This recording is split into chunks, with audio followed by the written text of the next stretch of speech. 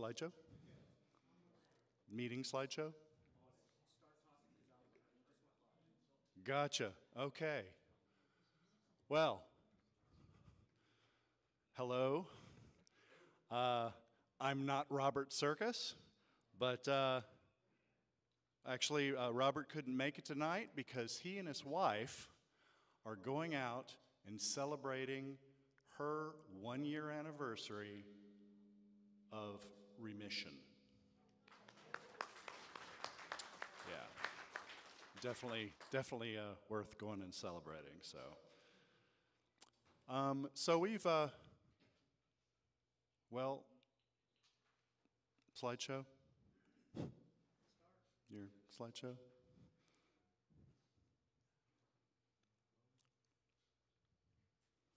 Hey, there we go.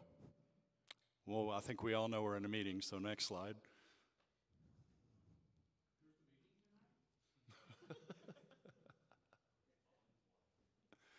uh, you know what? I'll tell a story while this is going on.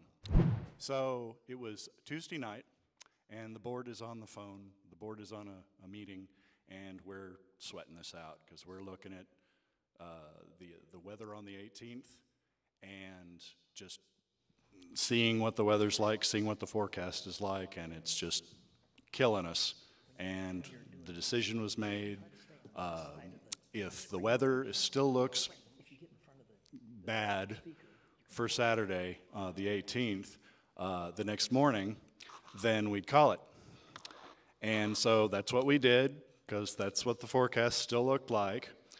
And lo and behold, Saturday, the skies parted. So it gave us the astronomy gods uh, another reason to laugh at us. And uh, so, okay, I'm done with my story now. But what we're all going to cross our fingers for is that the 25th is going to be good to us.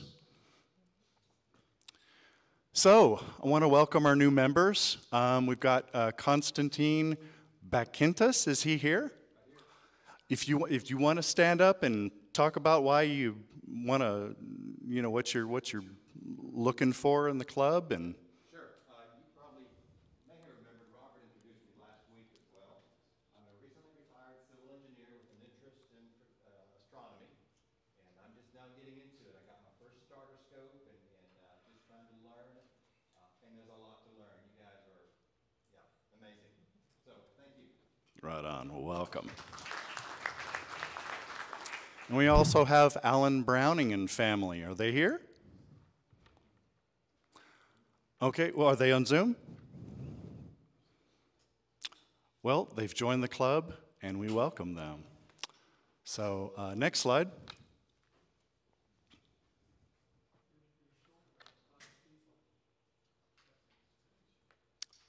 Hmm? Oh, really? These are the only names that I got? Gotcha. Okay, well, we'll circle around and hit that. So, the executive board.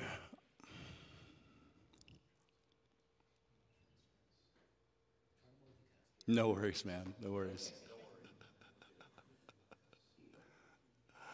Okay, our executive board uh, consists of the president, Bob Sirkis, uh, myself, Bill Hall, uh, John Jeremini, who is the treasurer, uh, Monica Merritt, who is uh, secretary, uh, Phil Stage, Robert Cargill in the back, uh, Bruce Campbell, our newest addition, uh, Zach Smith, and Cy Simonson.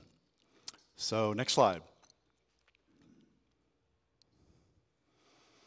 And the key contacts we have here, uh, there's a, we have a development committee with these individuals, Michelle Thiessen, Tom Roth, Robin, Zach, Robert, Shane, and Bruce, and uh, a public outreach group, which actually includes both uh, Patrick McMahon and John McCrae. Uh, John McCrae is uh, in charge of Tandy Hills. And uh, Tom Roth is our representative for the Palo Pintos Mountain State Park. And we've got Thompson Observatory. Uh, our connection there is Jerry Becker. and George Lutz has taken over the website management. So, uh, next slide. So, this is our history. We've been around since 1949, and uh, we've got, I think, 184 members now. And uh, we're one of the biggest uh, clubs in the United States, and uh, we're nonprofit, and there's more information on the website. Next slide.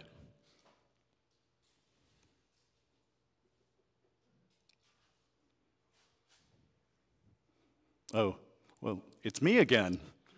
So, the, uh, the slideshow for what's in the sky. So, this is for uh, everything that's going on from tonight until the next meeting. And what we have featured here, you know what? I'm going to turn the light off.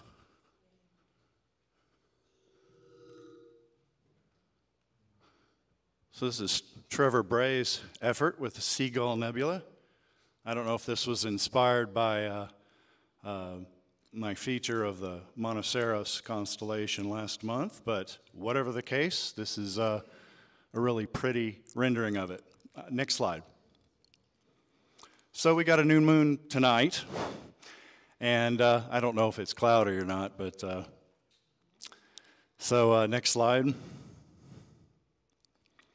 So, yeah, it's, it's kind of nice when these things uh, kind of overlap on the actual night of the meeting, because it's a couple of slides that we saw last month. Uh, Ceres is in opposition tonight, so it's as close as it's going to be to the Earth all year long. Uh, next slide.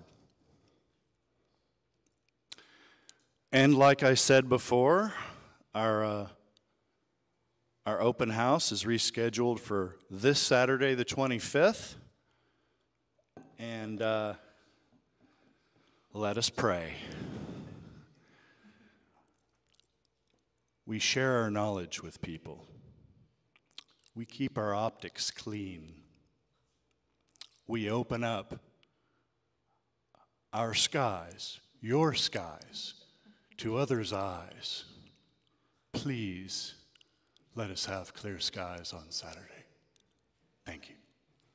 Next slide.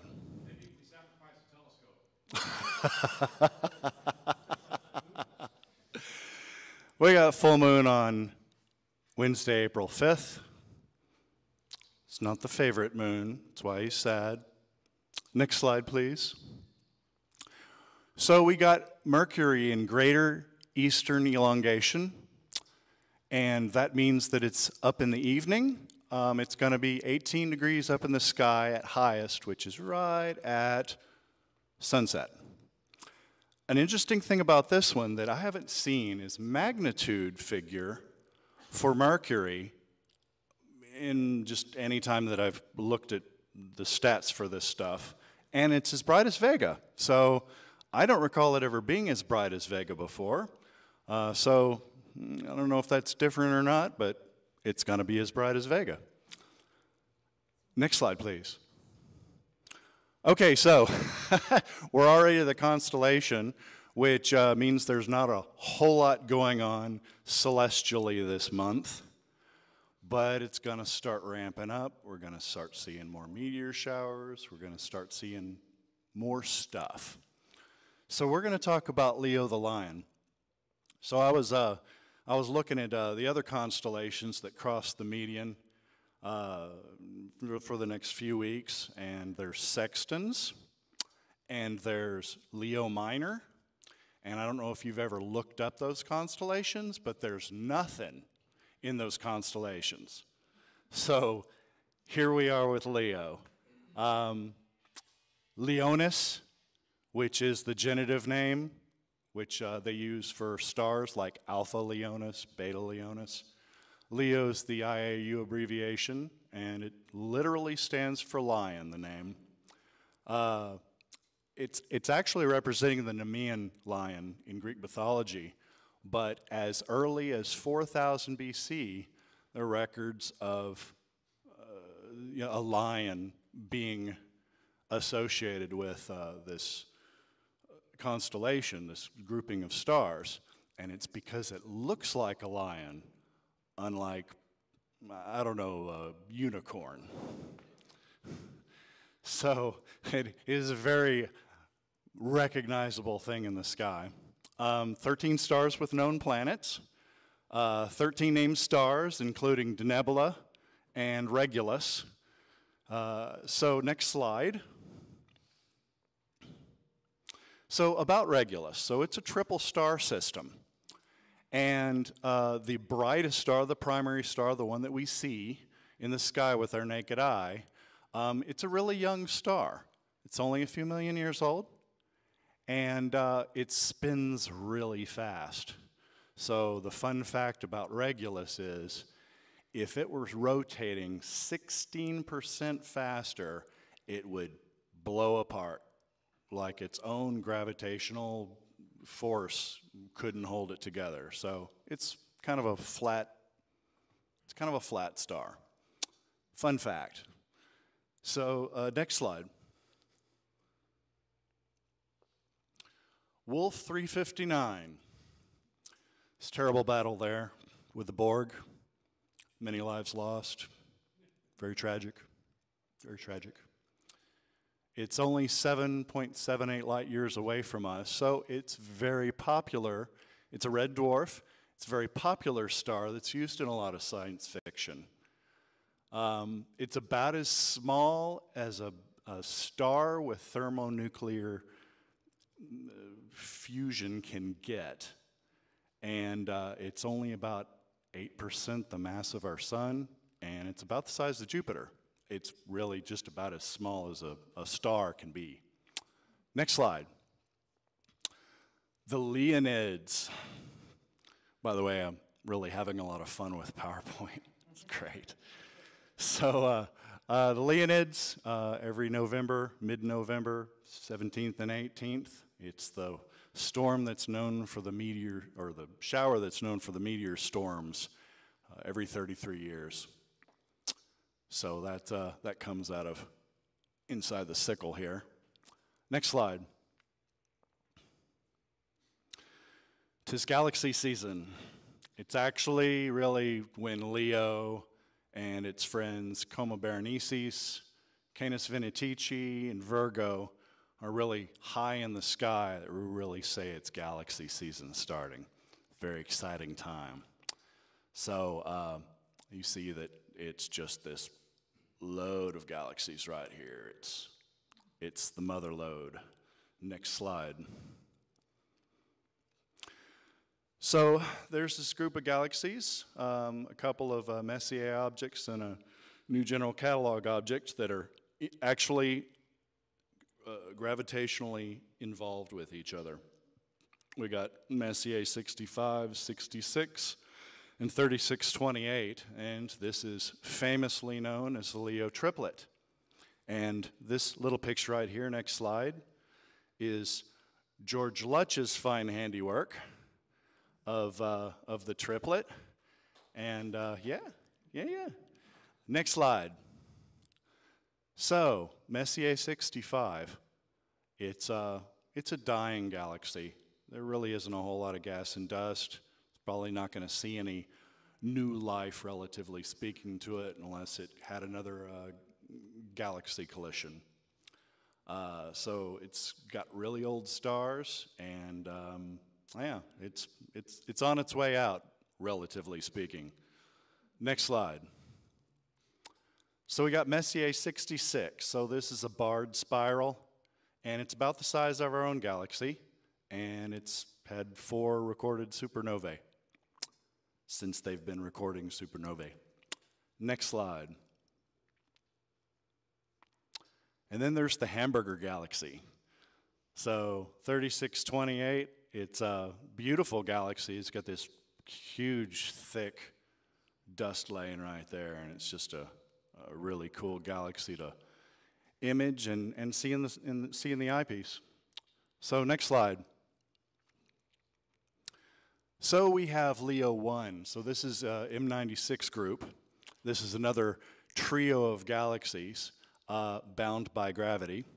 Uh, it's uh, got M95, M96, and M105. Next slide. So this is compliments of our own Richard Hoffman. And next slide. These, these three galaxies that we're talking about. So next slide. So M95 is uh, a really cool galaxy. It's got this 2,000 light year diameter ring that's almost perfectly round here. And uh, this, is, this is actually a, a, a ESO's uh, very large telescope rendering of it. Next slide. So there's M96. And this is a double barred spiral. And if nobody's heard of a double barred spiral, it's actually a spiral galaxy, a bar spiral galaxy that actually has an inner bar and an outer bar that may not even be on the same axis. So uh, there isn't a whole lot of information about it, but it's just an interesting structure. Uh, I think it might be from a uh, maybe a galactic collision. Don't know. So next slide. So we got M105 here. This is a barred lenticular galaxy. Lenticular basically just meaning that it's still got a disc, disc shape and uh, uh, not a whole lot of structure. It's kind of a uh, evolution of a galaxy in between a, a spiral and a um, elliptical. So uh, it's surrounded with its uh, uh, with its little uh, companion here, it's actually surrounded by an enormous ring of hydrogen uh, called the Leo ring. So if you've ever heard of the Leo ring, that's what's going on here. And it's probably just like halos are, results of collisions with galaxies. So uh, next slide. NGC 3842. So it's an elliptical galaxy, but the cool thing about it, I mean, it's not really a special eye, eyepiece galaxy. I mean, you can see it, and that's fine. Next slide. No, not next slide. Uh, it's uh, uh, the black hole in the center is the thing that's notable. And I can't get my head wrapped around the idea of a black hole having a mass of 9.7 billion solar masses. So next slide. And there's a bigger picture of it. There's a black hole right there. Can't see it. Next slide. And then there's UI 0.27. Uh, the other the other moniker for this is the huge large quasar group. And uh, maybe it can be seen by the very large telescope. I don't know why they do that, but anyway, so it's quasar group, and uh, it's considered if it's cons- if if it is a structure, basically where all these quasars are associated with each other, that it's the third largest known structure in the known universe. So uh, no matter what, it's just a whole lot of quasars in a little spot, or a huge large, huge large spot. Next slide. So uh, there's a listing of 832 deep sky objects in Leo uh, that you can see on the SkyLive. Uh, they've got a really great database of, of information about constellations and their contents. Uh, same thing with the constellation-guide.com.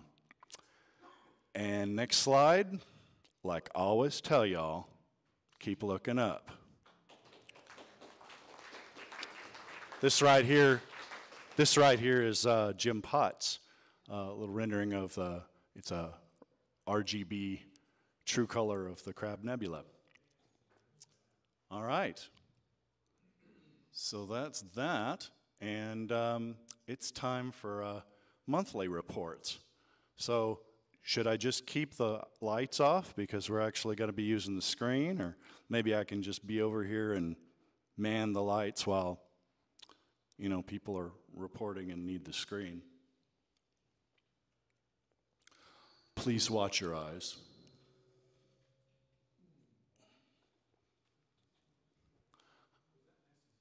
I don't know if that's necessary. I kind of liked the dark. Isn't that what we do? We like the dark.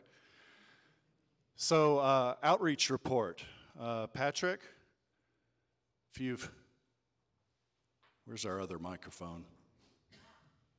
Oh, our other microphone is being used. Okay. I'm, I'm happy to Let me, let me come to you.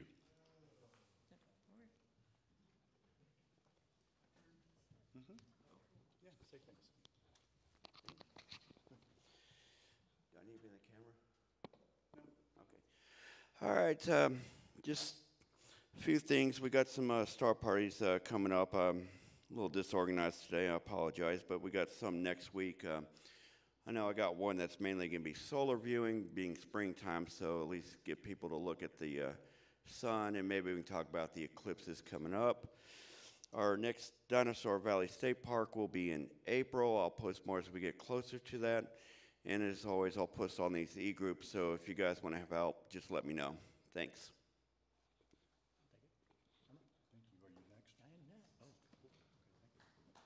I want to be on camera.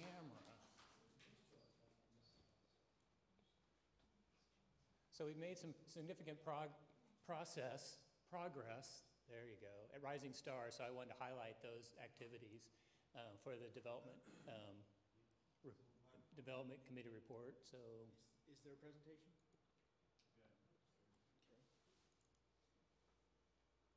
Which one, doing video first or? Uh, let's go with the video, that'd be good. So. Is this better? Great. So we're going to start off the presentation with a drive um, on, starting on the county road outside our facility, uh, County Road 244, and we're going to turn into our new gate and then take the new path through the woods to our observing field. Um, So let's hit it. Whoa! And so here we go, and boom.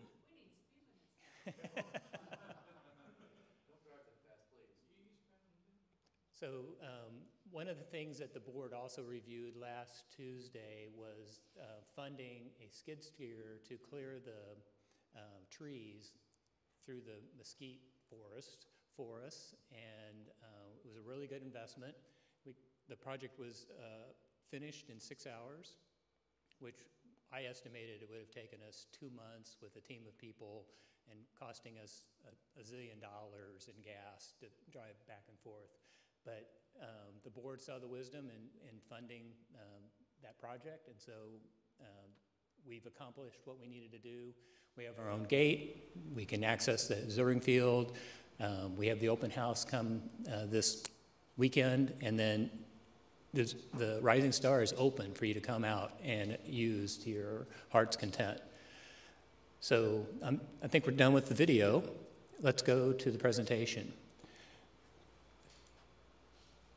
Uh, not that one. Um, layout, layout, layout. Which one, layout?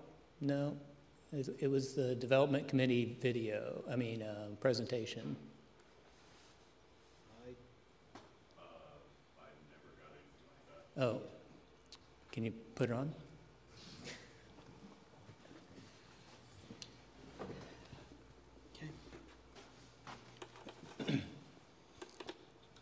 So I'm looking at my counter. Oh, we didn't start it, so can we start it now?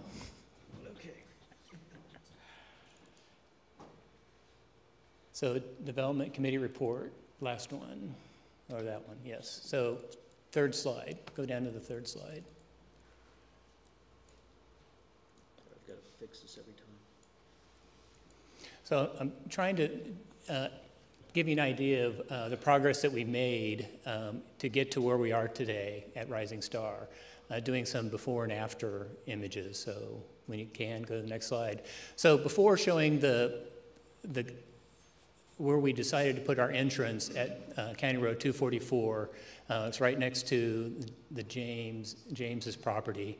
Um, but after uh, clearing the trees out of the way and having somebody come in and do the uh, dirt work and then put in the base so we can have a nice driveway, um, there you see what uh, the work that was accomplished from the before picture to the after picture. And the pecan tree uh, remains in place. Let's go to the next slide. And then how did we get through the mesquite trees? Well, we, we picked a, a pathway um, that had the minimum number of trees so we could leave more trees um, in, in the forest. Um, and what we decided to do was instead of taking 290 degrees to get through the uh, forest, is we did, we only took 45 degrees. And it turns out there were two 45, in each of those lanes, there were a- minimum number of trees. So we did that and then had the skid steer come out and uh, yank up the trees by their roots, because if you don't get mesquite trees by the roots, they just come back with a vengeance. Next slide. Okay, the observing field, uh, for those of you, everyone that's been out there, uh, either on a work day or out observing, you had to be careful where you step because we had a number of ruts that were most likely created by wild hogs. Um, and it- also makes a significant uh, challenge driving over them because each of your tires rock the driver significantly as you go through. But using the skid steer, we were able to bring uh, soil that was on site and fill in the, these ruts. And that's what I'm trying to show here on this picture, on the after picture.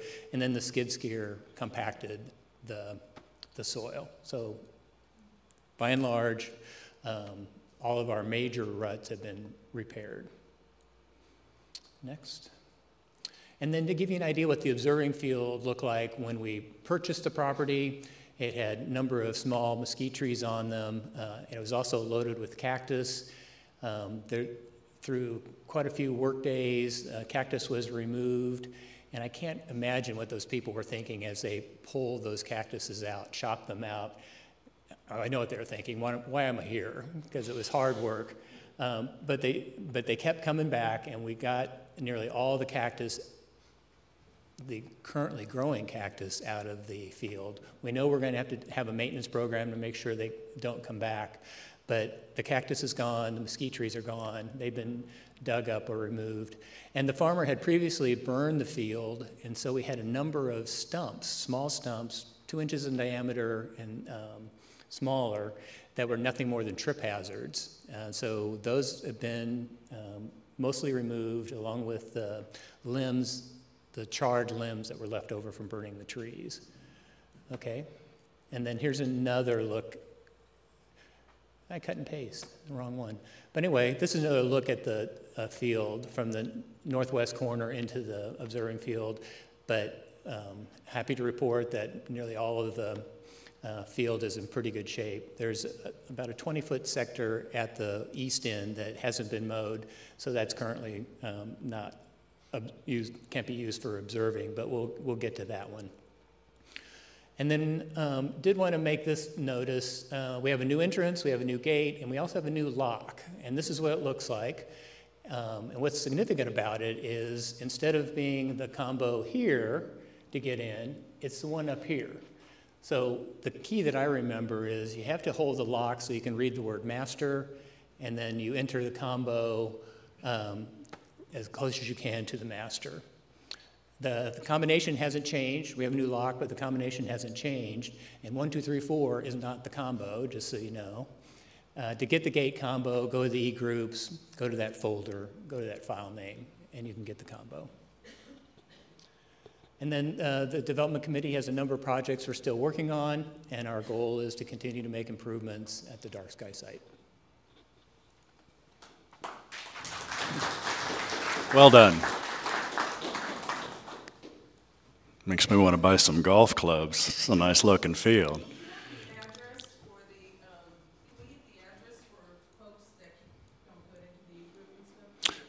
Okay, so Robert uh, Sirkis has actually addressed that issue.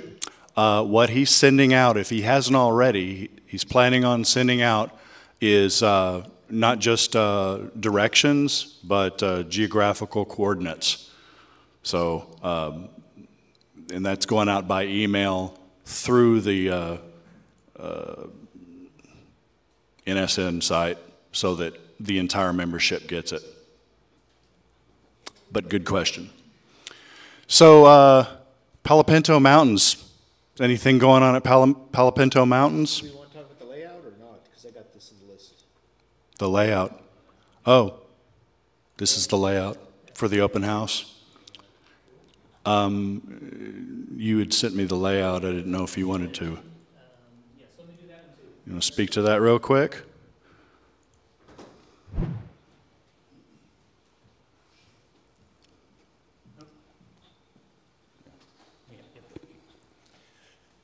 Uh, So we wanted to give you an idea of what the layout looks like for the upcoming open house. Uh, This was, this hasn't been approved, but this is um, our third, hasn't been uh, uh, approved by the board, but this is the third generation. So we're, we're planning to have uh, upwards of 150 people there or up to 80 cars. And the way we're setting this up is we'll have two rows of scopes essentially. Uh, those people participating in the Messier Marathon will be on the west side of the property, um, on the north side, followed by the uh, Messier group that's doing the full marathon. And then the rest of that area is going to be filled with astrophotographers. Then we're having this, what we're calling an astro lane. And the astro lane is where people will just walk up and down um, between the two uh, observing areas and, and perhaps take a look through people's scopes as they see what is, um, uh, both our guests and our members can look through the scopes and see what is being looked at. We've had a, just a large number of members going to participate in the open house, and, and many of them are bringing scopes. So we're going to ask the people who uh, bring their scopes, uh, they'll, they'll be in that second row of uh, telescopes. And the way it's going to turn out is those people observing will have their vehicle next to them um, along with their telescope. And that way, once they get onto the, onto the site, park their car, they don't have to move. Um, same, same thing for the first row and the second row. And then all of our guests and members who don't bring scopes, they'll be parked in, this, in the southwest corner. Um, the hub of activity will be here, not because the porta potties are here, but because this is just where we're going to be meeting. But it's important to note where the porta potties are. Um, uh, but uh, during the day, um, after the gates open and before it gets dark, there's going to be, going to be a telescope display in this area and as well as, well as some solar scopes. And then the raffle ticket will be in this area, um, excuse me, the raffle ta table in place so people can buy raffle tickets. And then when they announce the winner of the raffle, it'll be in this area. Um, a couple people are bringing campers, including the person who's going to be cooking the food for us tonight, the hamburgers and hot dogs. And so I, I, I, the way I envision it is they'll have the food here, they'll then cook it here, have it available, and then people will uh, eat in the general assembly area or just go back to their cars where their equipment is. Um, and when we came, just, just to show you where we're at, this is the entrance onto the field. Uh, County Road 244 is just to the west. Um, and the, not, the, the, the, rationale for all of this happening is so as people leave, they can just head to the exit through one of these um, south, middle, the Astro Lane, or the north road. It's not really a road, it's just the observing field, but that's how we're going to be traveling. Any questions? How large is this area? This is about uh, 3.6 acres. Any other questions? Good, thank you. Thank you, Bruce. So work at the state park is progressing. They're working on the roads and a soft opening by the end of the year and open to the public uh, first quarter of 2024. Um, we are clearing hiking trails. They're going to put 12 miles of hiking trails in at the moment.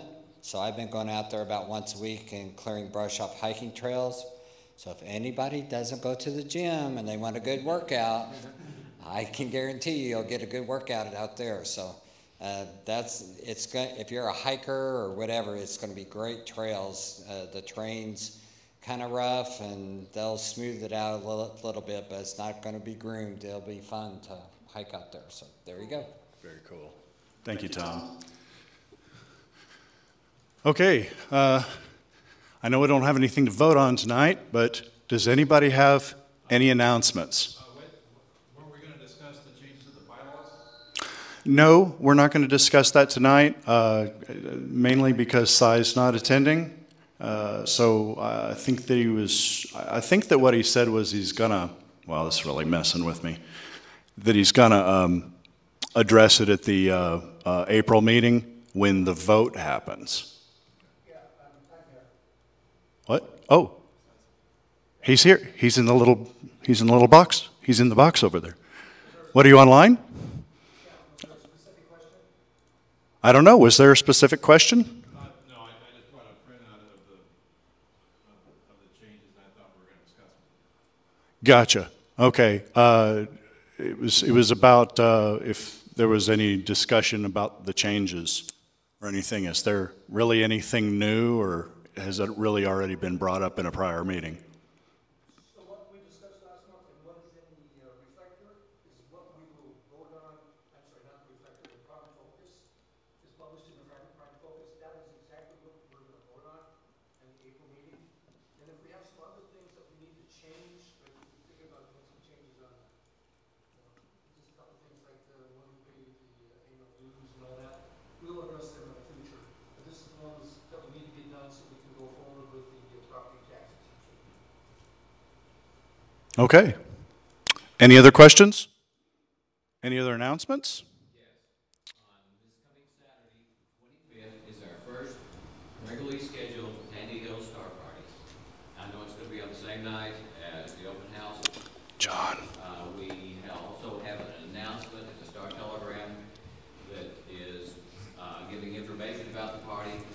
And, uh, just would like to invite, invite the ones that are not going to be going to Tandy Hills, if there are any, uh, to come out, I mean, excuse me, not going to Rising Star, to come out to Tandy Hills this eve, this, uh, Saturday evening. Sunset's about seven forty, so if you wanna do solar viewing, come out before, or if you wanna just do the star party, uh, we'll have several planets out, uh, so come on out and join us. Great, thank you. Thank you for pointing that out. And John actually put together an advertisement uh, for our, uh, our presence at the Tandy Hills, and I think we've actually got that in a slide. Um, If you wanted everybody to see that, or... Right on. So, uh, I guess that's it. So, uh, you know, we want to take a break for about 10 minutes, uh, get ready for uh, Sarah. Sarah's um, presentation on getting ready for the solar eclipse. John.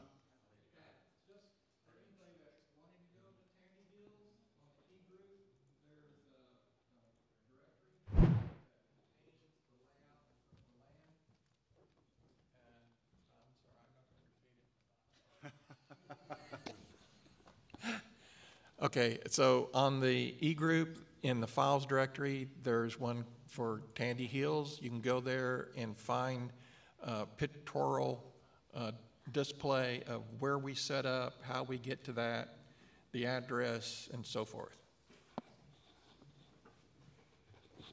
Thank you, John. All right, we'll see you guys in 10 minutes. Watch your eyes. Hello.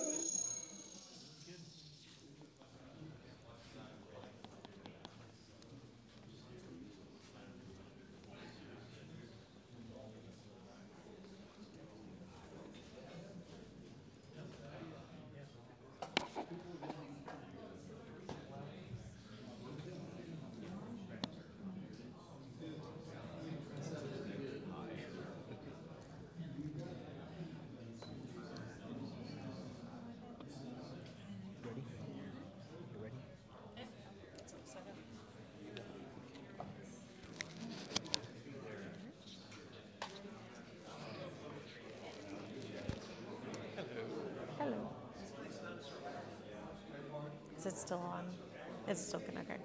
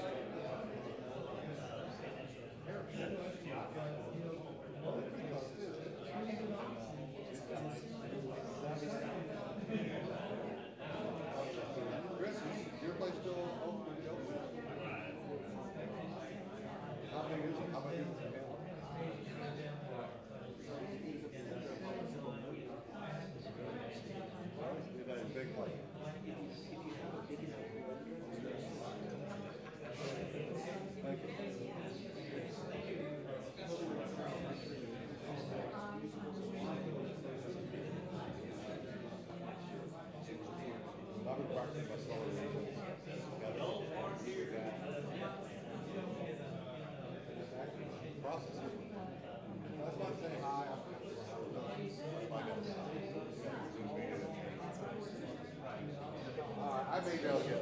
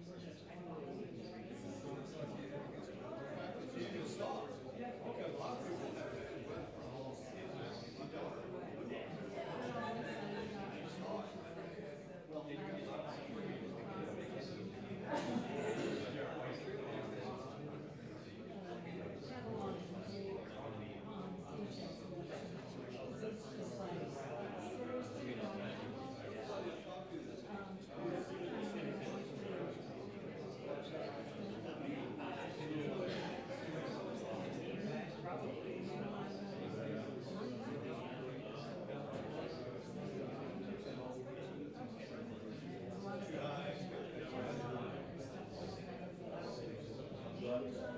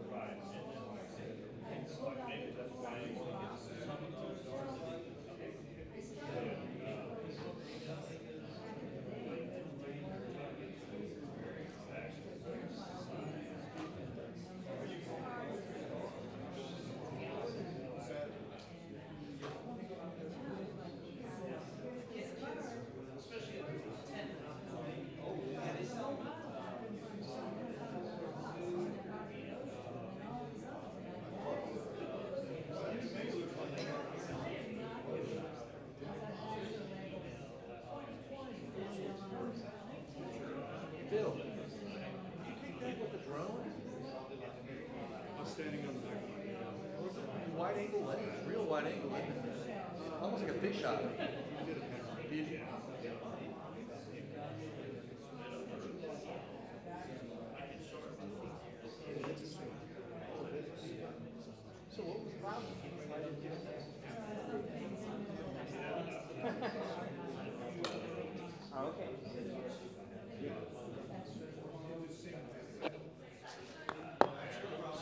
I got a little intro slide for her. Okay. It's part of the meeting, oh, a meeting thing, so. Check, check. But you don't want to use the lavalier? Oh, I'm gonna use this. Oh, that just clicks on, yeah, that's fine. Yep. If you need a laser, Okay, I won't. I brought my own, but I, oh, I you won't. brought your own. Yep. I brought a collimator. This is the one that I use when I forget to ask if anybody brought one. Cool. Okay. Check, check. All right, ready to go again.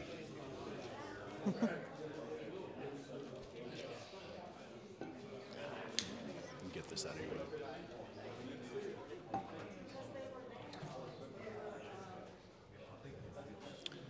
It's the meeting slides. All right. So tonight's presenter, her name is it's Twiddle, right? Twiddle. Twiddle, Sarah Twiddle. I'm sorry. It's okay. She's a member of the club, but for over a decade, she was the manager of Noble Planetarium. And uh, she's uh, engaged when she was with the planetarium, engaged in all sorts of uh, interaction, association of planetariums and Former. former, yeah, right, yeah. I did my four years. I'm When you were there, yeah, yeah, your, your, your, your term, your obligatory term, right? But um, yeah, so she's been really involved in um, uh, outreach, touching stuff, and tonight uh, she's going to uh, talk about um, getting ready for the solar eclipse. So here's Sarah. All right. I feel like I talk very loud, so I'm gonna lower this a little bit. Um, so if y'all haven't met the current planetarium manager in the room, there he is over there. There's Nick. Feel free to introduce yourself to him. um, oh, sorry, yes. Get in the center here. There I am. All right, so go ahead and first slide. So that's a good overview of, of who I was and where I was, and I actually kind of got uh, the idea that I'm talking about tonight started in my head. I realized that not being at the planetarium anymore, my impact for this of these upcoming solar eclipses, especially the total solar eclipse, is going to be very different. So I'm no longer in the dome. I'm now at home. What am I going to do? What resources do I have compared to what I thought I was going to have? And the resources are, are going to be a little bit different, um, considering that I, I am just in my own neighborhood. So, um, just a little overview. Um, actually, I don't feel like I need to do that overview anymore. I, I was just going to say COVID kind of hit the museum a little hard. It got a few of the positions completely eliminated. Uh, about, I think, five or eight uh, full-time staff members no longer had a job after about six months of furlough. Um, but thankfully, they got us on unemployment very fast, so I am grateful to them for that.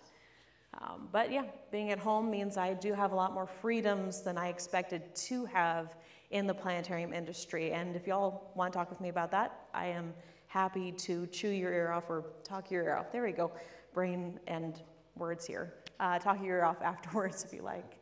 Next slide. Okay, so thinking about the transition of what resources I do have, I actually thought of this idea when I was walking with my son to his local preschool, looking at my neighbors' homes, just seeing my neighbors as I went along, and thought, really the biggest impact I can make for this upcoming, these upcoming eclipses uh, is that I don't want people to go blind. Ultimately, I want people's eyes to stay safe. A lot of misinformation will be out there for folks to listen to, unfortunately, and a lot of people will think that they are uh, financially sort of exempt from being able to view this safely for whatever reason. They might need, think they need equipment, which really they don't uh, need a lot. a cardboard box, pinhole projector, colander, you name it. Even some of the smallest pieces of equipment that they have at home currently can allow them to view it safely and enjoy it. But ultimately, I want them to walk away from me in a two minute conversation knowing that they can view it safely. They don't have to endanger themselves, endanger their kids, endanger their eyes. And that's what, um, kind of rushing through this a little fast. Um, that's what basically the, if you click ahead, I'll make my you know, little three points up here. The why, don't, people don't go blind. That, that's my why for this upcoming, these upcoming eclipses. Um, the how, go ahead. The ripple effect. Honestly, I want to make very small things make a larger impact. If you talk to somebody, they hopefully will talk to somebody, they will talk to somebody. This effect really is, is bigger than you think. Um, so if you don't want to think on the large scale, like I was trying to before, if you want to think on the small scale, the large scale is maybe a little just so far above your head makes you kind of anxious and worried about not being able to do enough little effects really can make a large impact. And with my limited time, limited resources now, with my two kids at home, um, I really need to make as much of an effect in the area around me. And the third point is basically, once again, talk to anyone who you don't want to go blind. That's, that's your who. That, that is exactly who you need to talk to. But going a little bigger on that, of course, thinking about your own backyard, I want you guys to think about this who do you already know in your backyard? Where do you already have a foot in the door? Beyond this club, are you a part of a different club, a different organization? Uh, maybe just even a small group. It doesn't have to be big. Three plus people, honestly, is just enough to get sort of a foot in the door and the conversation started. And if you already know these folks, they know you, you already have an in to talk about this. Get five minutes in a meeting, get five minutes in a group conversation. Start talking about it in group chats if you can. Um, and even just the most simple ways possible. Don't overload them like we nerds do with information. That's going to be the easiest thing for all of us to do about the eclipses, um, but rather just hit the main points about safety, um, the numbers of people who are going to hit our area, that's another SURF safety point again. Uh, but safety of their eyes, safety of their area. And then if they want to know more, that's great. That's another in in the conversation.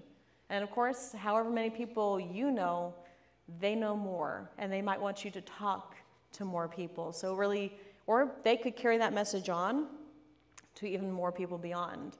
Um, I say set it up now. Honestly, I've been talking with a lot of people, and they do say a lot of folks won't be terribly interested, and you may already know this, until about a month out. A lot of people won't worry about getting things on their calendar, worry about setting up, you know, what they're going to do, how they're going to view the eclipse, um, or either of the eclipses coming up. Uh, but definitely get something set up within the three to one month mark of either eclipse, especially the total solar eclipse. That's going to be the big one, uh, the one that has the most kind of uh, push behind it. I expect it to be similar to 2017. A lot of my colleagues expect it to be similar to 2017, so we'll see how true that is. All right, next slide. Just to help your brains kind of envision, okay, who do I know? Um, maybe you're just kind of stuck in your brain going, I, brain freeze, I, I don't, I can't think of anyone at the moment. Uh, I'm going to mention a few people I know that might seem unusual to reach out to. Um, for a little while there in the pandemic, like many parents, I considered homeschooling. Realized very quickly that me and my son will not work well that way. He does need a group of his peers in a very formal setting. He does enjoy formal education. Um, but through my research phase to figure out exactly how homeschooling could work, not only just for me and my son, but also what were the resources in my area, uh, there are a lot of homeschool parents I now have connections with, a lot of co ops that I now have. Um, I'm on their chat groups, I'm on their communication um, uh, forums and such. So I can start reaching out to them. And these are the kinds of folks, these parents are very motivated to teach, whether it's just to themselves, to their kids, to other adults. They are engaged in education in a very deep way. Um, and some of them are even connected to nature schools. I didn't know that was a thing until I started doing a quick look around the area. But nature schools are another perfect audience for me to just quickly talk to, just to go out and say, here's what you can do with your students for these eclipses. They have a lot more freedom time wise. Um, they're not restricted by formal school schedules and such. So hopefully, with that information in their hands, they'll be able to just extend that education a little bit farther. And of course, the eclipses are a perfect STEAM activity. There are so many STEAM activities surrounding the eclipses um, that they'll probably be very excited about all, this, all these new resources.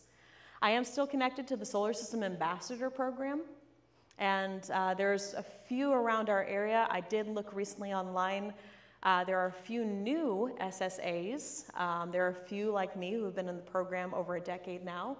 Um, and I do plan to reach out just to the local ones, the ones here in Fort Worth, maybe as far as Irving, to see how I can bolster their events, how they can bolster my events, how we can share resources and communities, just to make an even sort of wider impact there. And of course, above and beyond all this, there are a lot of uh, women in the play date groups um, that I have found for my one year old daughter, Naomi, to get her out of the house, get me out of the house, have her interact with other kids without paying, uh, you know, you know, out of the pocketbook way too much for daycare and such uh, that we can't afford anymore, honestly.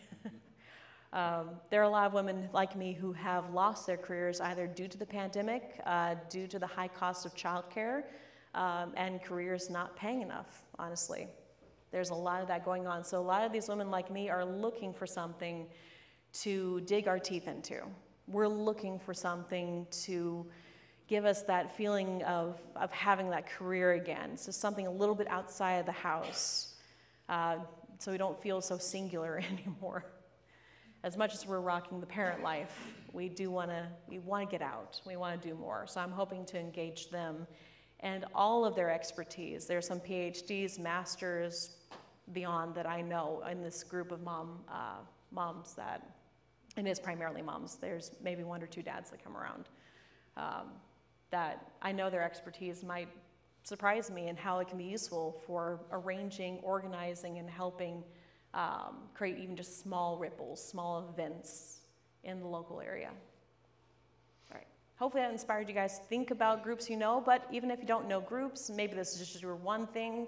These are your people, this is your family. Um, think about just uh, singular uh, established people in your area. I didn't know until recently that every neighborhood, pretty much every neighborhood in Fort Worth, has a neighborhood police officer. A beat officer, I think, is the other term for this, but NPO is the one term that they list on their website.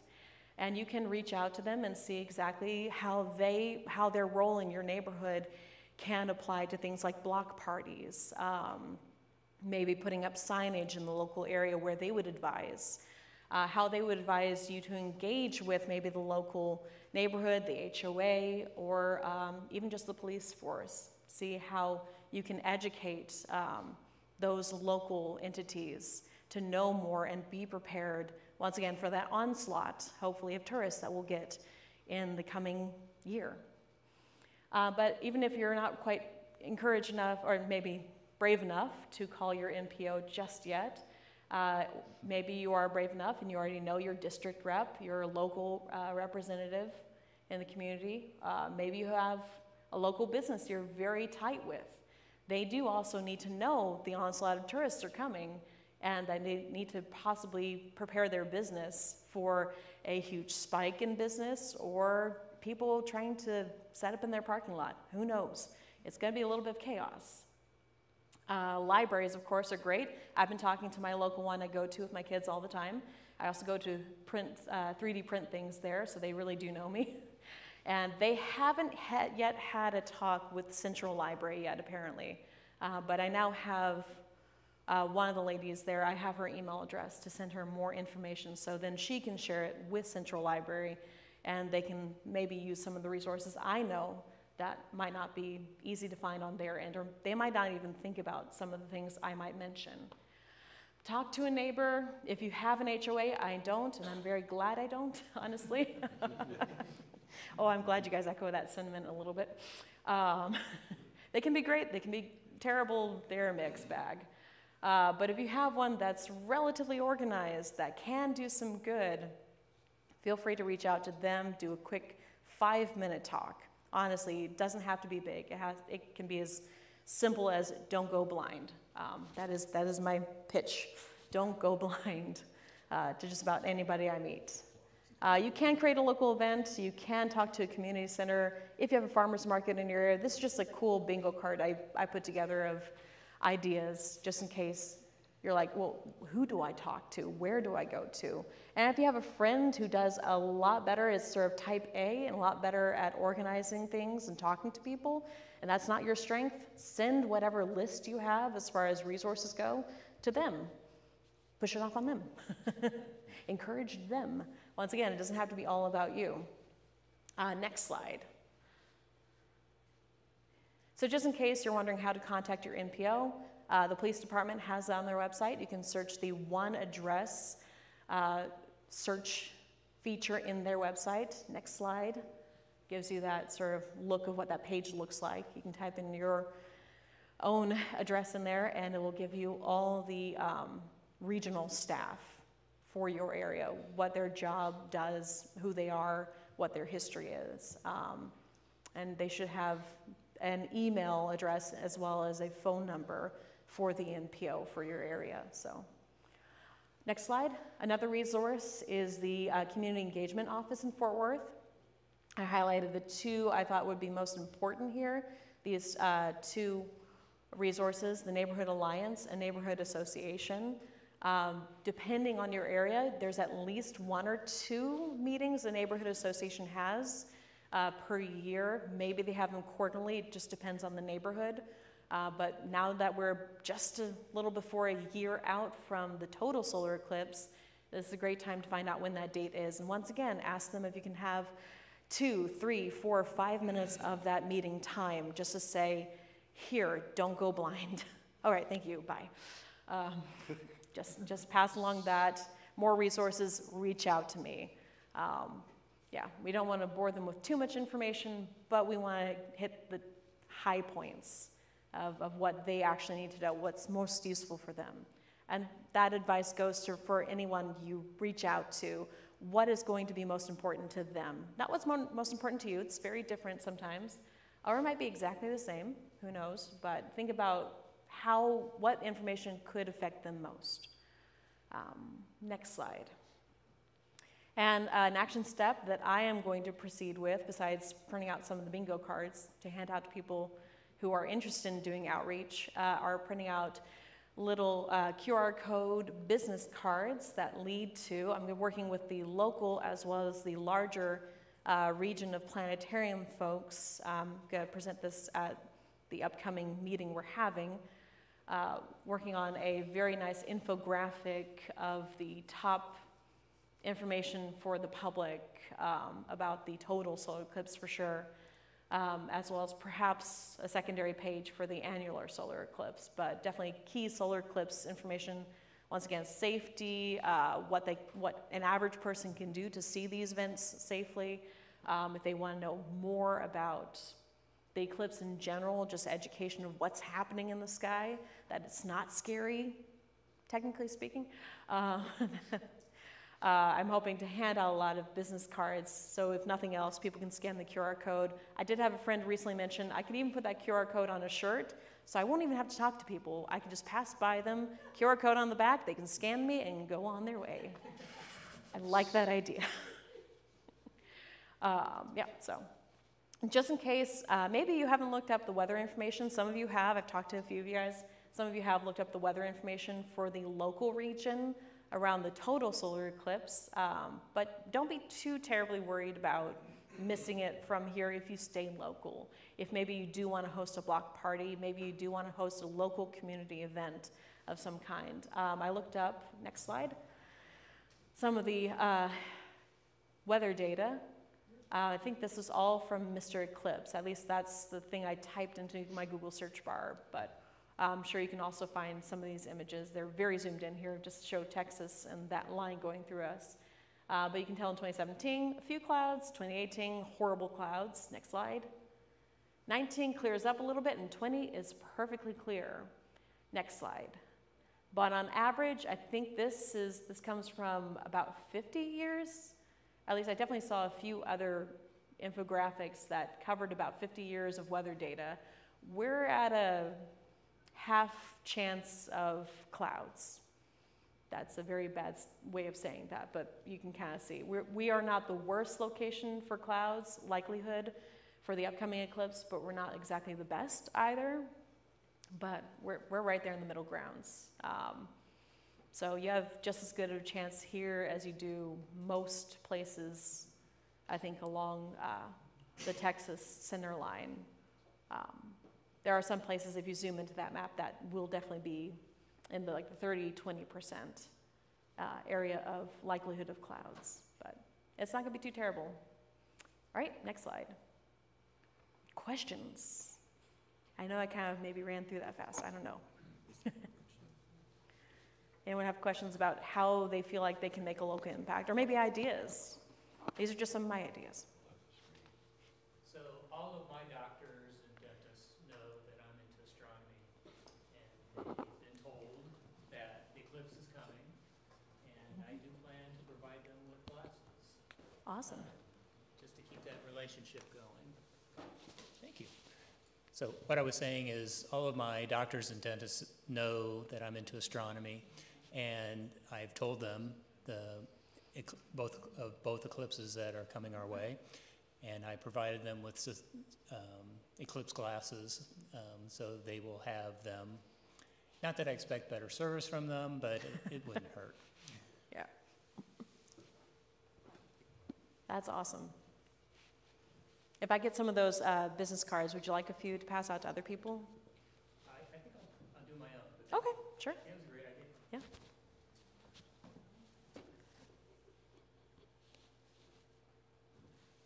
Yeah. Did anyone think of a local group that they're a part of? They already have a foot in the door that they might talk to? Anyone think of a different kind of group than I mentioned up there?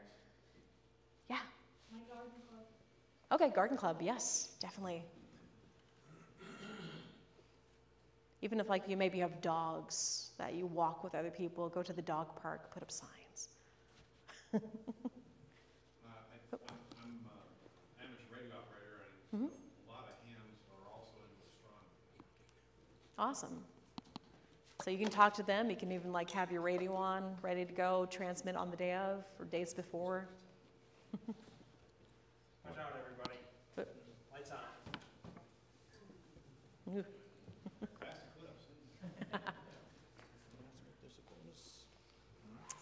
Anyone else have questions or ideas that came to their minds? Hey, Sarah, I got a, Yes. I got an addition to your reaching out to the communities. Remember, uh, one of the key ways to gain interest is point out it's an opportunity to monetize. Uh, They got a little bonus, a little extra presentation here. Uh, For those that don't know me, my name is Juan Martinez, been a longtime member uh, since 2001. Uh, Always been plugged in with, uh, with our outreach uh, work. And perfect opportunity, no time like the present, to make a couple of announcements. A lo- lot of, lot of exciting activities happening. Uh, I'm, I'm throwing in my name in the hat, volunteering to lead up basically an eclipse committee. And if you recall, many years back, was it four or five years ago, well, we started uh, uh, what, I- what I call Chris's I Have a Dream speech and uh, start, start our eclipse planning. And we canvassed our sibling uh, clubs. And so a lot of work uh, has been happening in the background. We've been uh, still continuing, hold, carrying that torch. Uh, so what does this mean? Uh, an eclipse committee. What I'd first like to identify, identify what it is and what it is not. What this committee is not at this point in time is any guarantee or invitation to host any specific meeting or eclipse event at any school or particular function.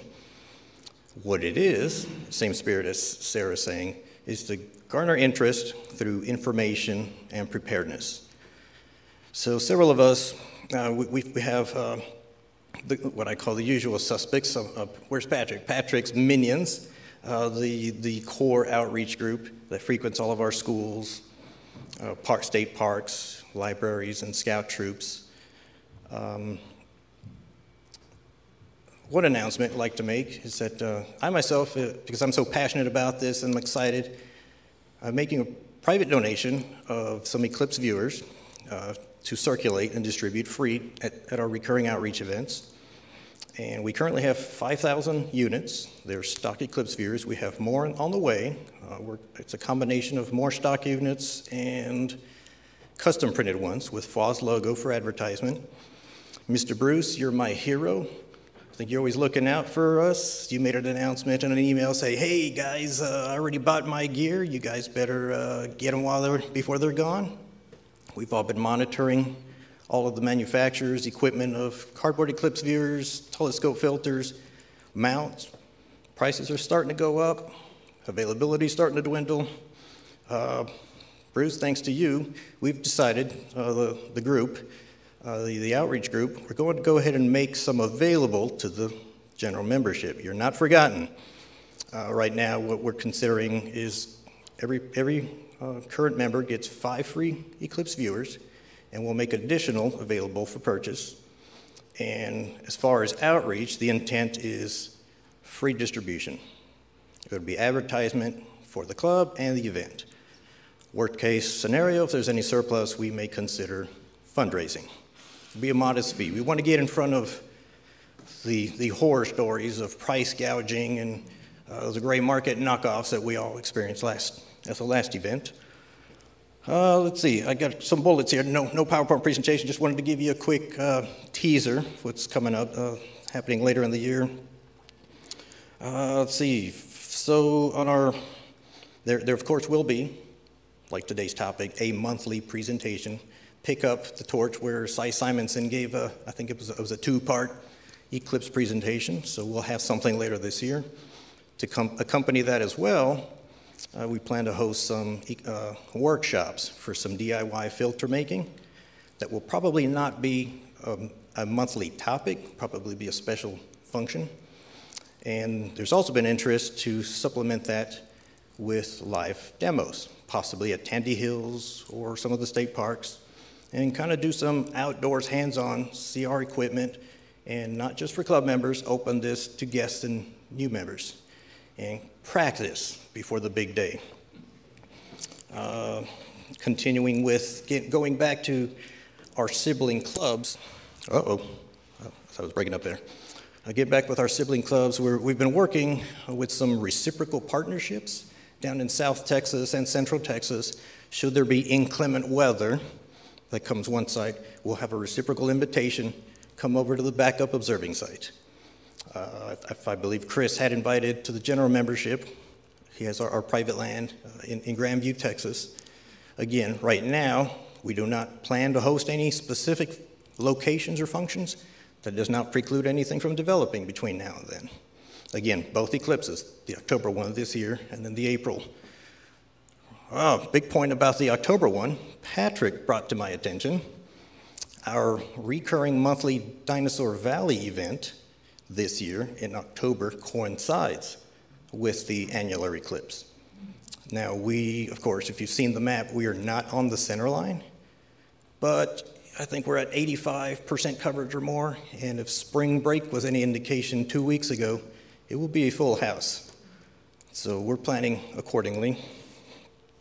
And let's see, uh, touching back on reaching out to your local municipalities, um, several of us, so I don't know if we were the impetus uh, uh, making the rounds with our, with our neighbors down in South Texas, down in the hill country, where if you've studied those two maps, the intersection of the annular and the total, down below Kerrville, that region, southwest of San Antonio, they actually created some task forces that divvied out by counties. And all of their municipalities are completely prepared at, at all levels. Uh, up here, North Texas, I think we have yet to catch on to the eclipse fever. Uh, but they will, as you say. Uh, they'll, they'll wait till the last couple of months leading up to. Uh, let's see. Ah, to supplement that, uh, Matt mentioned amateur radio operators. We do have some members that participate in radio astronomy, uh, if you look at anywhere on the path of totality and on the, on the annular eclipses, a lot of emergency services will be seeking out, enlisting the assistance of ham radio operators for communications because the, the little subtlety symptoms, your cell phone towers will be clogged up, you will not be able to get texts or messages, everyone will be taking selfies like it's New Year's Eve, live streaming video. Um, fast forward to the day of the event, I'll let Chris chime in if he's got a couple of comments. We've been practicing uh, with web live streaming. There's plans to possibly do multi-site live streaming from along the path here in Texas. So to sum up, everything I said is far from comprehensive. This is just an introductory teaser. Uh, like I say, we do have, we've started a, a loose little army or team of Eclipse uh, outreach that will assist with distribution of Eclipse viewers and planning some events. Uh, we will may solicit anybody who has an interest to join or uh, give any uh, recommendations. Um, that's all I had at this point in time. Thank you for listening. You'll get, the, you'll get the Eclipse fever soon. All right, then I'll step in um, to, to build on some of it. So first of all, um, I will be doing the Messier Marathon on Friday because that has good weather. I'm also going to be working more on uh, additional streaming. I'm also going to be working on more stuff that's not necessarily live streams, but it's videos. Uh, one of the first things is I'm still in the process of doing the Messier Marathon, uh, kind of a teaser video. It's a top 20 objects. Uh, I've got a bunch of images. If anyone has any more images, uh, check the emails. Just please send them to me. If you have e pictures of your equipment, like astrophotography rigs, go ahead and send them to me too. Just send it tonight. That way I can start working on it. I can put it in. Again, it's kind of a teaser video for the club, just a teaser for Messier Marathon, and just some of the stuff that we do, some of the images that people have taken. Um, as part of that, I want to do additional content. I have lots of meteorites. So I want to do a series of videos on specific meteorites, talking why they're important, things like that. And then from there, build on and talk about uh, what is really important for the club, what are we doing, um, the kind of information that we can put out. For Sarah, she talked about giving out the business cards that have the QR codes. That's fantastic. We can do QR codes which point directly to a video on the YouTube site that I will be working on, and it will talk about um, information about the eclipse. So it'll be safety information in a video form. It will be what to do on the day of the event, how to plan for it. We can even do stuff like, hey, talk to your neighbors, get together, do this. Um, the whole idea is put as much information out as quickly as we can. It ain't a lot of time. I don't know if y'all have noticed. And it kind of when Juan was saying that we started on this a while ago, we started on this before the pandemic, about 2019, I was about 2018. Um, we talked with the Hill Country astronomers. Uh, Juan and I did a, um, uh, a Zoom meeting with them and talked about what we want to do. I actually mailed them a meteorite uh, as a goodwill gesture slash bribe to remember us. so they, they, still, they still do. Uh, we talked with the club in Waco, the Central Texas Astronomers Astronomical Society. Uh, they're, they're actually doing something uh, for their members at their observatory because the center line goes roughly uh, close by there. So, um, but they're not planning anything yet at this moment kind of the outreach events around, uh, around the town like Juan said, Hill Country is all in. So they already have plans. I've talked with them this past week about the reciprocal agreements. The whole idea is that if we have bad weather, they have places for us to go. If they have bad weather, they have places uh, up here where they can go. Uh, my family land on Grandview, in Grandview, is going to be open for the club. So we have, it's about 30 acres total, but usable that we can actually do stuff on is about 10 acres. So it's plenty of land to, to go around. We're going to have power. We're going to have, um, there's, there'll be wireless internet, uh, probably not a huge amount of bandwidth, but it, there'll be something. Um, and because uh, it's my cousin's, uh, he, he's got a big old brick fired pizza oven, and he got a uh, so he can make like lots of pizzas. And he also found one of those um, conveyor belt pizza ovens that you find at like uh, Pizza Hut for 500 bucks. And so he can put out one pizza every seven minutes or less and just like just go through the line. So there'll be plenty of food. Uh, and because it's Texas, we can do barbecue too. So we do plan on having the possibility of some visitors. I've been in touch with someone um, from California. There is actually a group of eclipse hunters that are coming to the States. He got in touch with me through the Instagram site that I started for the club, uh, which I haven't posted anything to. But he chatted with me while I was actually in the backyard doing some astronomy, and I figured it's just easier to call. So I talked to him for about an hour while I was trying to do my imaging and setup. Um, there's about, he said it's like between, I think, 25 and 40 eclipse chasers from Europe coming to the US. They need a place to go. They don't really want to go to Mexico because, well, there are issues. Uh, Durango is the best place to go, but it's the middle of nowhere, and there aren't that many services. In Texas, there's quite a bit. DFW is going to be a major hub. It's pretty much going to be DFW and Austin. Um, San Antonio doesn't really have the big international airport that DFW is, so people are going to be coming here and then scattering. So if they come here, the idea is if we've got the good weather, I will have a place for club members, I will have a place for visiting astronomers to come and, and observe with us, set up their scopes. We're going to have power, we're going to have pizza, we're going to have barbecue. It's a good deal. If we have inclement weather, if we have clouds, rain, whatever, it's not ideal. Hopefully, Hill Country astronomers will have places for us to go. I already have a list of uh, places that they recommend I contact, specifically looking at state parks down in South Texas, uh, Garner, Lost Maples, and a couple of others. Those guys are going to be on the center line, and the advantage is they're already planning events. So I need to talk to them, to the superintendents of the park, and say, this is what I need. Because my plan in October is to do a live stream. I don't plan on being out there for like five hours in the middle of the sun you know, getting nice and burned even in October. And, but I do plan to do like at least two to three hours of a live stream talking about why this is important as a preparation and practice run for doing uh, April. So for April is going to be the big thing. Juan and I um, got in with the Eclipse uh, Ambassadors Program. This is kind of a continuation of, I don't know if y'all remember, but I did the uh, Eclipse mega movie back in 2017. So it's a continuation. It's a lot of the same members, it's a lot of the same administrators.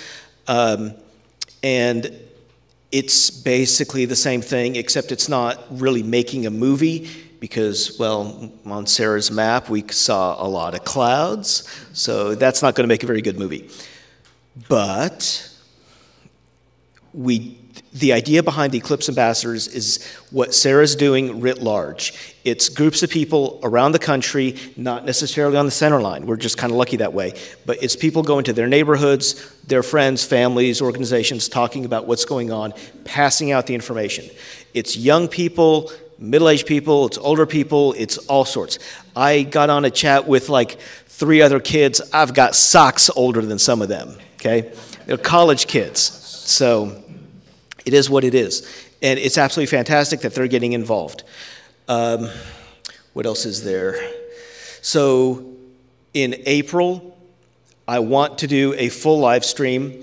And part of what they talked about for the Eclipse Ambassadors program is um, there is going to be a nationwide live stream going on. And they want to get feeds from different locations. So it's all technical stuff. I should be able to connect into whatever they're doing, uh, push out a live, a live feed to YouTube, split it up between whatever they're doing, um, just get as much out there as I can. And I don't want to be alone. It really sucks when you're streaming alone because you spend hours talking to yourself, and I am not enamored with the sound of my own voice, despite what it sounds like right now. Anyhow, so um, it's a lot better when you have a crowd. In 2017, we were at a vineyard in Nebraska. There were probably 200 something people around there. It was fantastic. It was loud. Everyone was having a good time because it was a winery. Uh, This time around, down in Fredericksburg, lots of other wineries, they have lots of stuff going on. Um, I've already talked with a couple places down there, they have events. I'm looking for some place that has power, that has good internet, not necessarily wireless, I want wired, I can plug right in. And um, I don't mind putting on a show. I am an introvert, despite what my wife thinks, despite what it appears to be. Um, but I can put on a show for whatever. And advertising the club is an important part of it. So I can't think of anything else. Any questions? Have I just gone on too long? We got 20 minutes left in the meeting. They'll get excited soon. Yeah, it's it's coming so fast, and the um, the pandemic really hobbled us. We were we were going gangbusters right around 2000, and then right when this hit, it was just, no everything goes dead. Everything was dead. Uh, Sarah and I actually talked about going to the Fort Worth City Council. I don't know if you remember. We go to City Council. Everyone gets five minutes to talk. So if you plan it out properly, you can get a number of people and the first person comes in and says, I'm with the club, blah, blah, blah, blah, blah. This is what's important about the eclipse. Don't stare at it.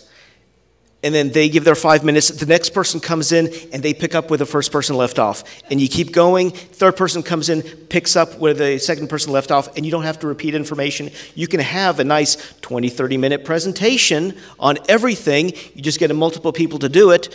And hopefully the city council doesn't say, yeah, yeah, yeah, okay, y'all are actually one person, one organization, and, and you know, you're eating up everyone else's time, which is fantastic. That's what I want to do because it's important. Anything else, or am I done? I'm done. Cool.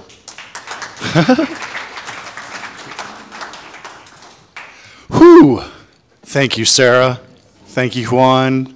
Thank you, Chris, especially for stopping. I kid, I kid. No, this is great. Um, it's a lot to think about. It's a lot for all of us to, to consider, and this really kind of sparks the big conversation about this. It really is going to be here before we know it. Um, I was in Madras, Oregon, tiny little town in Oregon, in 2017, and it was a madhouse. And it's just a little two horse town up there, and it was crazy. Okay, so we're going to do just like a short five minute break. I do want to remind everybody that Robin has uh, raffle tickets for sale for the open house. mhm, For the open house. Uh, the raffle tickets are how much? They are one for ten and five for forty. One for 10 and five for 40. So they're still for sale. You can get them here tonight. And uh, if you want to buy raffle tickets for our drawing, then um, do that too. But let's give ourselves five minutes, and we'll see you in five minutes.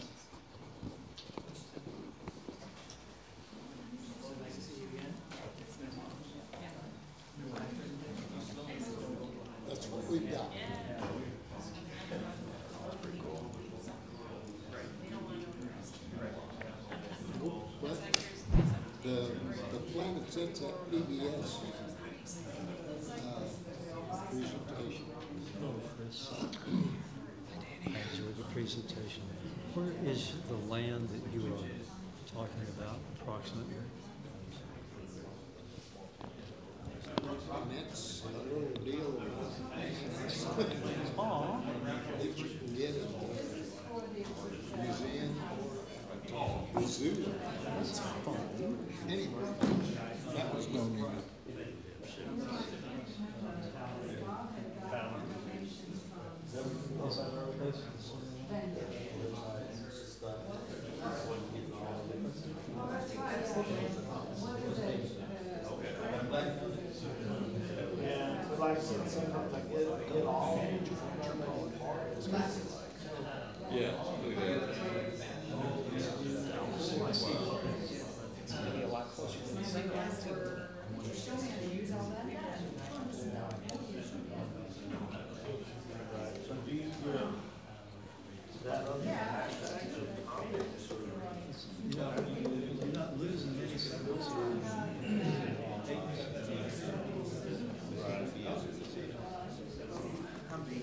We've been turned, turned down twenty-five feet outside wall of my son's house.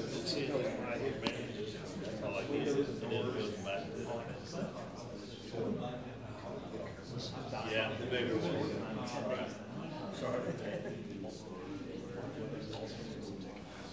Yeah, no, just take it from down the back side of his house. Um, it was an old house and it was all rotted out and stuff. They wanted to play with the kids. So it's twenty-five feet outside wall. We had to tear it out. Supporting structures, tearing down walls, windows, doors, putting up new walls, windows and doors. Luckily, my son knows how to do uh, plaster. That's the hard part. Actually not. The demo took one day. The demo, the demo took one day. We just threw it. The saws on it.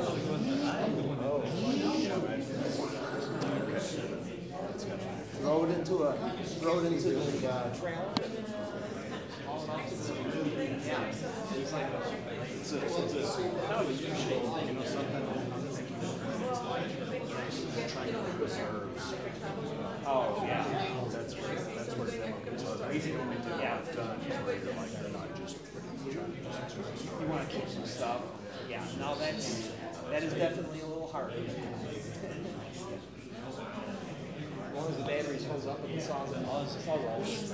Yeah, right, yeah.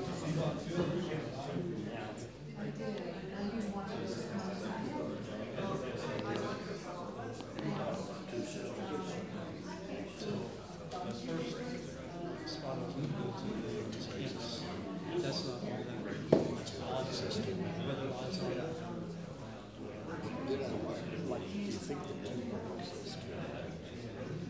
No, You know, it's not really. Two breaks. Think about the timing Yeah, that's the whole deal, because like they headed to the. Two. No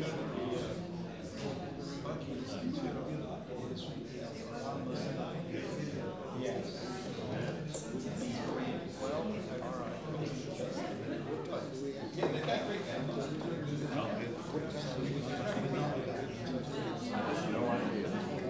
I would, I don't know, Bill probably knows better than anybody. Bill.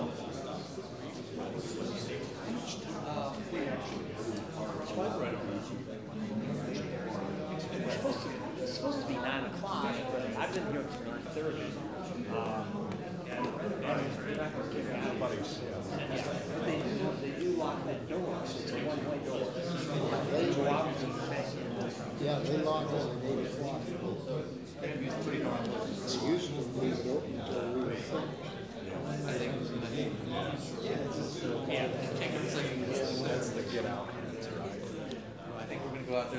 All right, let's draw raffle tickets.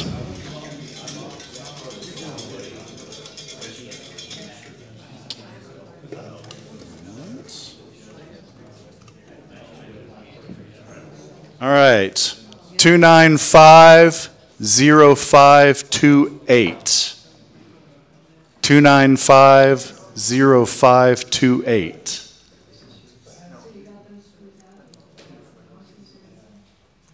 Got it? All right.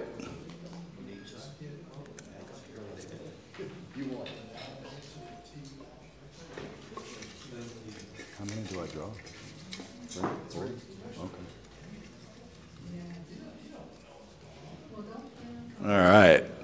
2950532.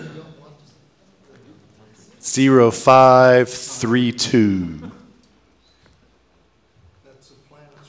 Anybody? All right. Last chance, last chance. All right. Okay.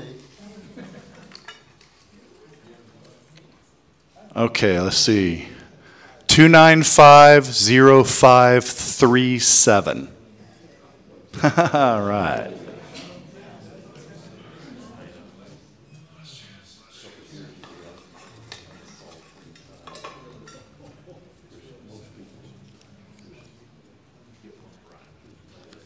And 2950530. Three zero is, It's going to be something already drawn, or somebody, somebody else had one. Yeah, having trouble deciding it. I see. Push the button. You got grandkids?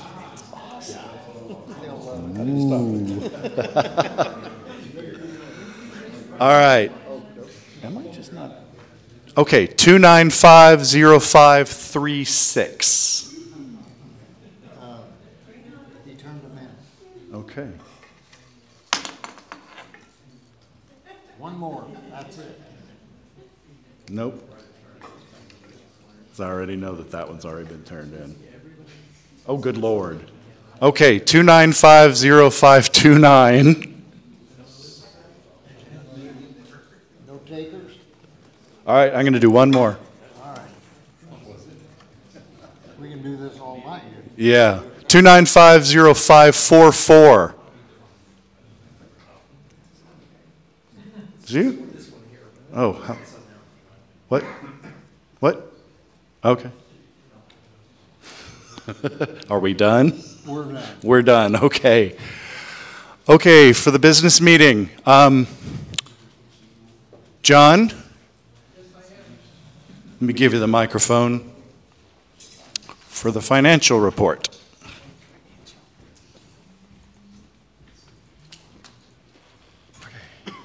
All right, thank you. Uh, We're going to go through this uh, quasi quickly. I wanted to uh, make a comment here on those numbers. So the numbers themselves, typically the checking is what we use to run, quote, the business. So that's where we pay insurance, we pay e-group, we pay um, whatever, whoever else we pay. Whereas the savings account has typically been used for property acquisition and maintenance. So right now, that 13,000 that you're seeing there is about $3,400 overstated because we haven't, we've, when we pay for things, it is always through a vehicle that comes out of checking. So in order to get things to come look right, I have to transfer money from savings over to checking. Just so you know. That's what that little notation is down there under expenses. Um, as of today, we're sitting at 189 people, which is the highest that we've been in a very long time. So uh, kudos for everybody that works to educate and uh, share your knowledge with people that makes them want to come and join our merry band of stargazers. Uh, we do have, uh, um, unfortunately, we didn't mention all the people that were that had joined since the last meeting. Uh, and family, um, Alan Rhodes, uh, Tom McClevely, Kelvey, excuse me, and family, uh, Steve Miller and family, uh, Raj Guru, are you here tonight by any chance? In-house? No? Okay. What about uh, Andy Elgin? Are you in-house? Okay. I have your badges, and they'll be put in the mail tomorrow. Um, so that's where we are with all the wonderfulness about membership. Hopefully, by the time renewal time comes up, the method of doing yearly will change and it will go from fiscal year to date of membership. And that'll be a big change. uh, what else? Oh, is Nazarene here? No Nazarene either? Okay, nobody's here that I need to talk to. How about Stuart Johnson? Crickets, okay. Oh. You don't count, Robert. Uh, uh, Robert's company uh, that he works for is actually making a nice donation to us of uh, uh, uh, pipe material to make piers with. So thank you to Robert and his company. Um, I think that's all I have. Thank you.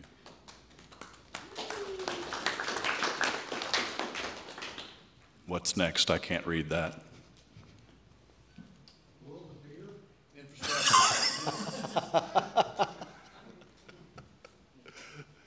Infrastructure and marketing. Does anybody have anything to report on that? Or anybody online? No. Okay, thank you very much. And does anybody have any other business? Well, thank you. What? Oh, r- r- I was just up there. Huh? Thank you for bearing with me. Have a good evening.